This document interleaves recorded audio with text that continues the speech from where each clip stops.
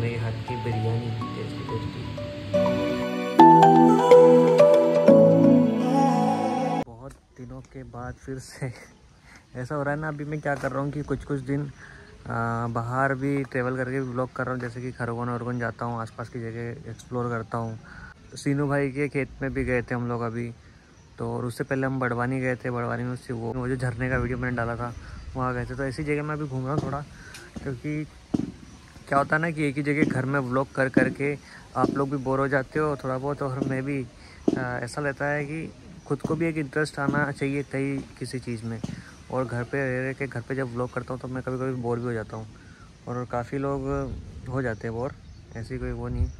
इसलिए मैं सोचता हूँ कि चलो थोड़ा बहुत बाहर भी घुमाते इसलिए बाहर के व्लॉग आते रहते बीच बीच में।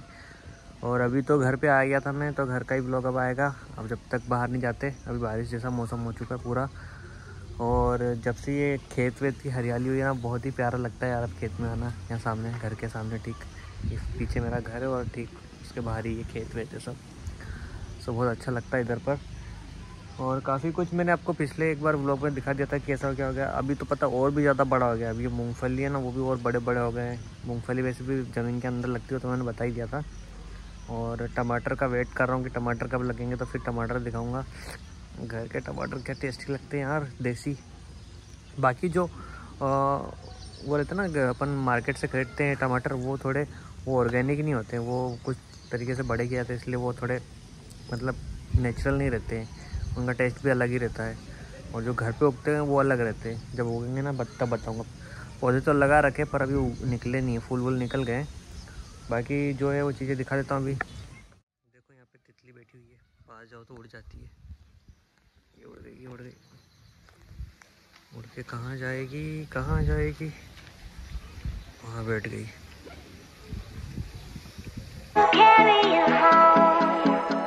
वो कितनी बड़ी हो गई है।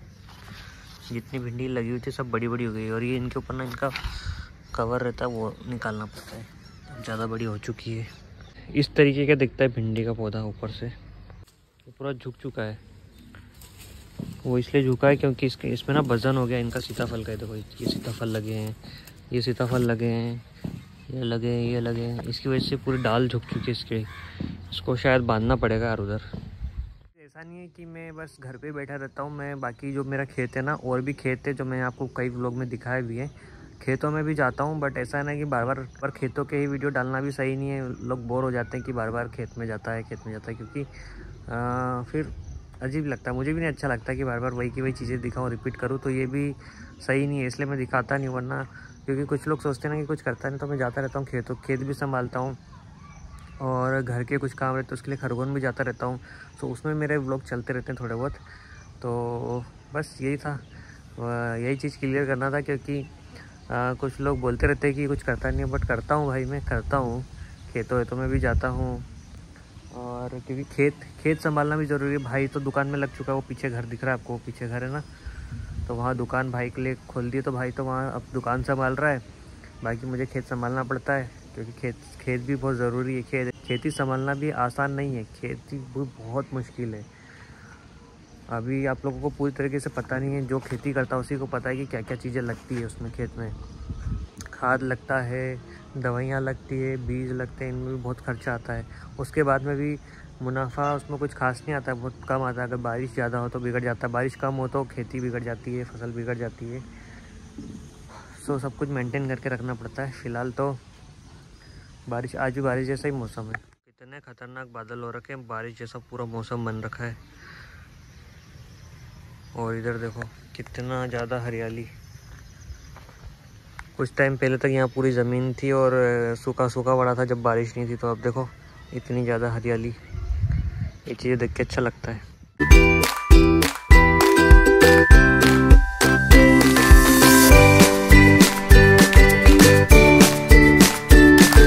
तो जैसे मैंने बताया था ना कि टमाटर लगेंगे तो बताऊँगा, बट मैंने अभी अंदर आके झाँक के देखा कि टमाटर लगे कि नहीं, देख लेता हूँ तो छोटे छोटे से टमाटर लगे हुए, दिखाता हूँ कैसे।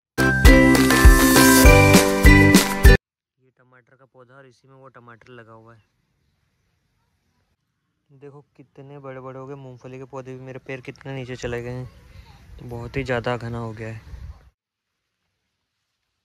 ये देखो छोटा सा भुट्टा निकल रहा है, अभी बड़ा नहीं हुआ है, बहुत छोटा ही है और इधर मम्मी घास वास निकाल रही है, पौधों के। इधर ये मक्के के आसपास। ये जो गली है ना, यहाँ पे बहुत, वो घास हो गई थी तो मम्मी ने उखाड़ दी पूरी यहाँ से। यहाँ पे घास उखाड़ना ज़रूरी वरना यहाँ से चल के हम जाते ना तो रात में दिक्कत हो सकती है। अभी डाइट के लिए मैं थोड़ा सुबह सुबह दो अंडे का ऑमलेट बनवा रहा हूँ घी में। है ना मम्मी जी? आप भी खाया करो। खाते हो ना? मैं बोला हो खा खाते हो? वैसे तो मैं उबाल के खाता था पर अभी आज ऑमलेट बना रहा हूँ। ये इतना परेशान क्यों करता हूँ मैं अभी? और परेशानियाँ होंगी पेट वेट में कुछ देखो कितना परेशान कर रहा है। अच्छा खेलता है। इसको डॉक्टर के पास ले जाना पड़ेगा। कल ले जाएँगे। ना रियान से अभी बहुत परेशान करने लग गया बहुत ज़्यादा। परेशान करता है। चलो में ये अच्छा उसको कुछ ना कुछ प्रॉब्लम होगी वरना तो पहले बहुत अच्छा खेलता था। अभी बहुत परेशान करने लग गया।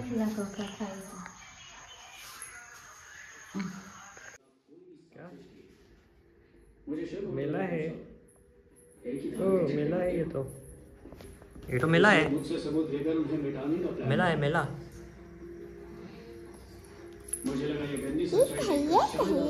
ईयरफोन है ईयरफोन है ये सो गाइस आज तो कुछ स्पेशल बना है वो है बिरयानी। इतना लजीज दिख रहा है यार ये बिरयानी देखो।